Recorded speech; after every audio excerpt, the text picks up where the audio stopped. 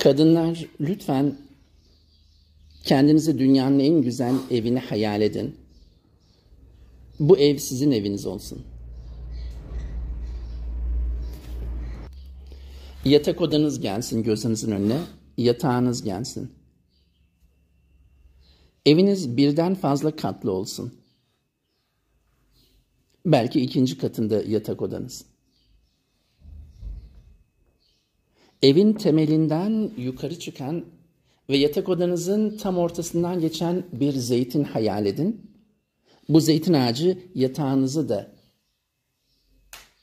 açtı, tavanı deldi, çatıdan dallarını gökyüzüne yükseltti. Canlı bir zeytin ağacı.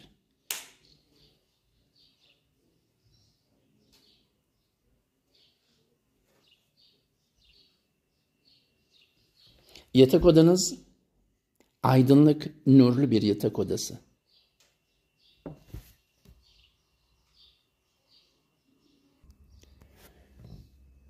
Zeytin ağacının yanında, yatak odanızın içinde serin, berrak, tertemiz bir şelalenin aktığını hayal edin.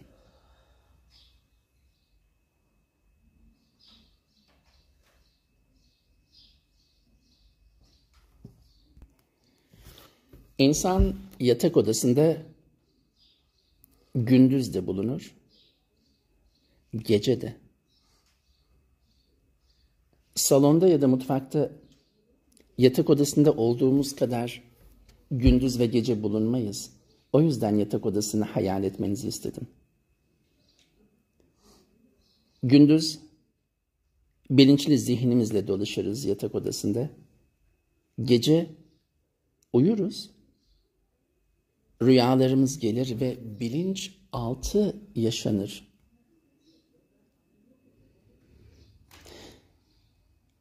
Gecenin ve gündüzün, bilincin ve bilinçaltının dengelendiği yer yatak odasıdır.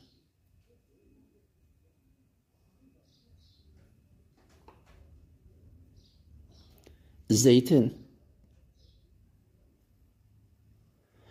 gerçek bu dört boyutlu fizik dünyamızla beş boyutlu öte alemi birbirine bağlar. İkisi arasında bir yoldur, bir köprüdür. Zeytin bolluk berekettir, huzur mutluluktur, sadakattir,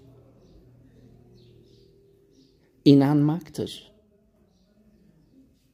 Bilgeliktir. Ve kadındır. Aynı özellikleri sahip ağaç erkekler için çınardır.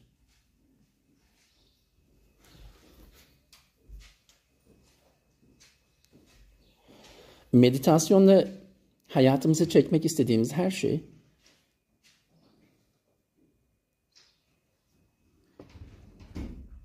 İnşallah şimdi hayatlarınıza geldi. Amin.